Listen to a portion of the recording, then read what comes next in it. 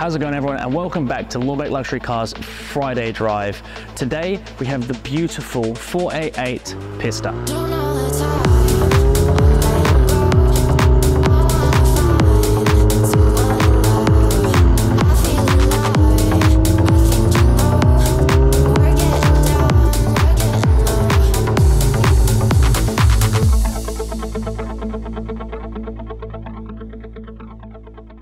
We're going to start with the exterior and I do want to make two very, very key points between the difference between the 488 GTB and then the Pista. Firstly, the aerodynamics, you'll be able to notice it as we go around the car. Secondly, the weight. They've saved so much weight on this thing, nearly 60 kilograms with 50 more horsepower this car in comparison is night and day. Even though they're similar in nature, they're actually very, very different. Now looking at the front end, that beautiful Ferrari front, that sloped vent at the front as the airflow goes all the way over the front of the car. And then these little accents here, all in carbon fiber, you can see all through here and then all through the side, around the wheels and all the way down the side of the car. It means that this thing has got more aerodynamics and more downforce than the previous GTB.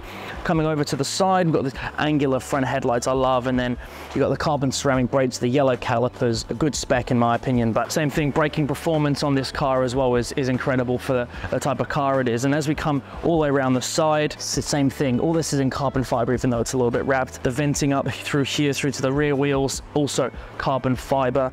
All the way around to the back of the car now, carbon fiber rear diffuser. We've got titanium exhaust tips, carbon fiber all through here. And then in the engine bay, you can see how much carbon fiber is in this thing. And it's that lightweight element to the Pista that makes it so impressive. And it's not just the 50 horsepower, but that 90 kilos of weight saving goes such a long way for the handling of a car like this and for the top speed as well, from about 205 to about 211 miles per hour. Now, I wanted to open this engine bay up because I actually think a closer look at all the elements of the 3.9 litre V8 is super, super impressive. Now, like we said before, that weight saving all through here, all this carbon fiber, that tactile carbon fiber you can feel all the way through the engine bay, on top, even on the on the actual engine mounts up here, all carbon fiber. You can see that signification for a Pista, it's pretty cool, but it hides the engine, but you can see a lot of it as well. But that weight saving, uh, I'm gonna come back to it again when we go through the interior and the way the car probably handles as well. I've driven a few of these cars and the difference is actually so, so impressive. And that's why I love these things. And the engine bay is a really good example of that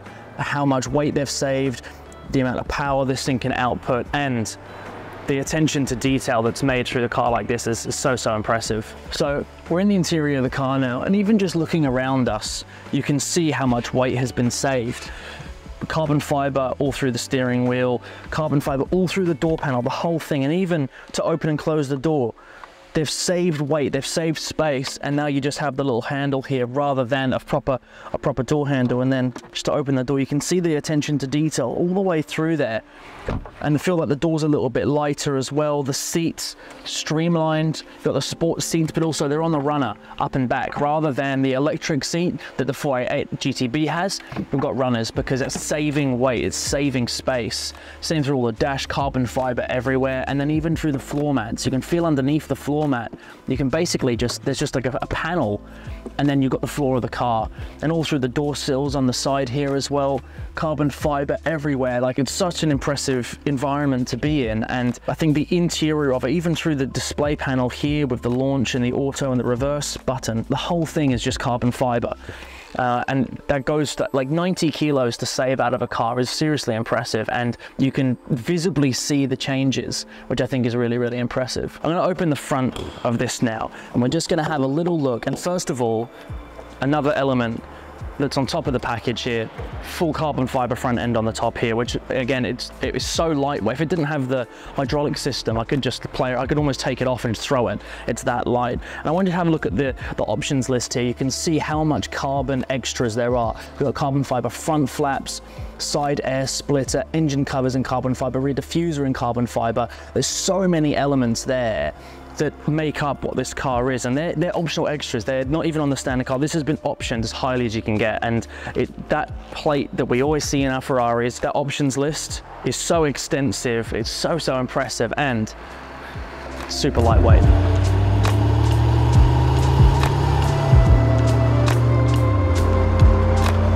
Talk a little bit about a couple of the comparisons, and I've got a list that I found that I think is really, really fascinating. We'll go into once we've kind of stopped. We spoke about the weight. 90 kilos lighter than the 488 GTB. I always find the way that manufacturers progress with their iterations of vehicles quite impressive. And I think for a car that was already high performance, super lightweight, to, to, to, take off 90 kilos off of nearly the same car is super, super impressive. Then couple that with an extra 60 brake horsepower. You're looking at a car that is so much more capable. And to a point, I was doing a bit of research before this and I saw a stat that said that the 488 GTB in comparison to this is 1.5 seconds slower. So this goes 1.5 seconds faster around the Fiorano test track in Italy, where Ferrari do all their testing for all their cars, Formula One cars, road cars. 1.5 seconds on a minute 10 lap is massive. It's such a huge margin. And to another point, on the same statistic, it said that the 488 Pista that we're driving now is 21 seconds faster around the Nordschleife. And I guess go back, go back to that point of, in some ways it is exactly the same car, but in so many ways it is completely, completely different. Sure, they look the same and the general feel inside is very similar, but the lightweight nature, the the weight saving, the extra power that they've got out of the same 3.9 litre V8 engine is so, so impressive. And that doesn't just translate onto the feeling I have on the road or the statistics, but to the point of as a professional driver is driving around a circuit that they do all their testing at, that gap is huge. And I didn't think it was going to be as big as it was, to be honest with you. Oh, I knew it was going to be faster, of course, but it surprised me a little bit as to how much faster and I think that goes to show how incredibly impressive this car really is. Another one of the comparisons that we, we have is that 488 GTB has 660 horsepower, we've got 710. So 0 to 100 now is at around 2.7 seconds for a car like this. And even as I'm driving it, I've been lucky enough to drive one on, on the circuit as well as the, the 488. But even in comparison, in my opinion, to the 296 GTB. Now obviously they haven't released a, a, racing spec version, which given that they have a GT3 car, I'm sure they will release at some point. But even in comparison to the GTB, the new 296, brand new car, yes, this doesn't have the hybrid power. This is the most powerful V8 that Ferrari have ever, ever made. That's 710 horsepower. But the comparison in between the way it drives, you can tell that the 488 GTB and the 296 GTB even though it's a much higher spec car, it's a newer car, this car was built for performance. This car was built with Formula One technology in mind and the aerodynamics and all the other elements, you know, the lack of a hybrid system. Look, the 296 GTB is a fantastic car.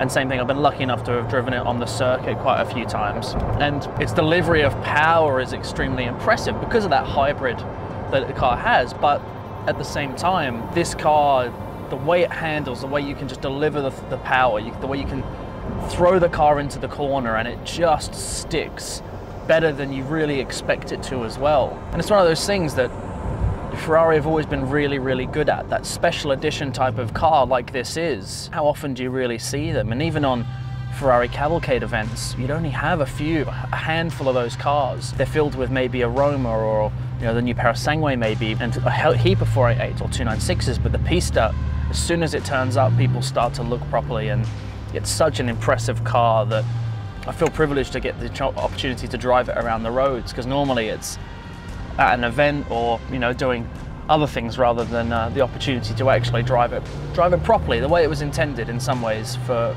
the consumer to, to get an, uh, that experience and I very rarely get that with Ferraris. Another point to, to add to that is the top speed. So we're going from 335 kilometers an hour to 344. So we're nearly going 10k an hour quicker, even though we have more aerodynamics built into the car. Uh, the rear wing on the back is a little bit bigger, the, the vents coming through the front end, through the side panels up to the wheels they uh, all make a difference in how top speed is, is, is, generated. That's why the 296 is warp speed because it's so slippery through the air with the hybrid power that it doesn't get slowed up at that terminal at high speed velocity in the way that a car like the Pista does. But that's why it becomes so much more impressive. And that those additions of the, the lightweight carbon fiber being used more often in, in so many elements of the car, as well as that extra power output, you know, nearly 50 horsepower is, is, is incredible. And it's those elements, that mixture of technology, raw speed, power, handling, uh, there's so many elements to it. And then you think about the carbon ceramic brakes that the car has, then the stopping power of this thing is so, so impressive. And the more I'm driving it, the more, of course, I'm enjoying it, but you marvel at the, the work and effort and energy and time and money that got put into creating this absolute piece of art. And I've always been a bit of a Ferrari fan historically. We've spoken about it before in some of the other videos. The the history, the prestige. There's just something about a car like this that just brings a smile to your face when you see it, you hear it, and luckily for me, I get the chance to drive it. And it's one of those things that you just feel lucky to get the opportunity. And uh, you look around the cabin environment, you feel the steering wheel and how the car handles and behaves, and you just want to keep going. And if I could just drive this all day, I would, but unfortunately, I can't. It's such a, such a special thing, and the small details are so impressive, and I'm just loving it. I'm just going through a, a long left-hander, and I've just kept turning through there at 60 k's an hour, and I was going too fast, but just grips to the road so nicely. And the more I fed the wheel into the car, the more it just kept hooking and hooking and hooking, and that was such a nice feeling. You don't get the opportunity on a road drive that often. One thing I want to note, we're about to go over a speed bump here. The use of the front lift kit on this car means that I can go over it without any trouble and then just press the button on my left hand side here and it's just gonna click into gear and it's done. And we're coming up to another one now, just heading towards the beach in, in Melbourne and just press the button, front lift coming up, and there's we're on a road that it, I can't angle myself either and I think that's really important to note that you have that availability which I think in a car like this is a weight lifted off the shoulders a lot of the time. Thanks again for watching our Friday drives. The Pista is such an impressive car and I've had so much fun driving it, but the level of detail and extra effort that's gone into making this vehicle is so, so impressive. And it's everything I love about Ferraris. They're so much fun, they're enjoyable, they are just so brilliant. I just love them. And as always, like and subscribe to our channel, follow along. If there's a car that you see on our website that you'd like us to Friday drive, let us know. Thank you so much for watching and we'll see you on the next video about Lorbek Friday Drives. I am a, a racing driver. Oh.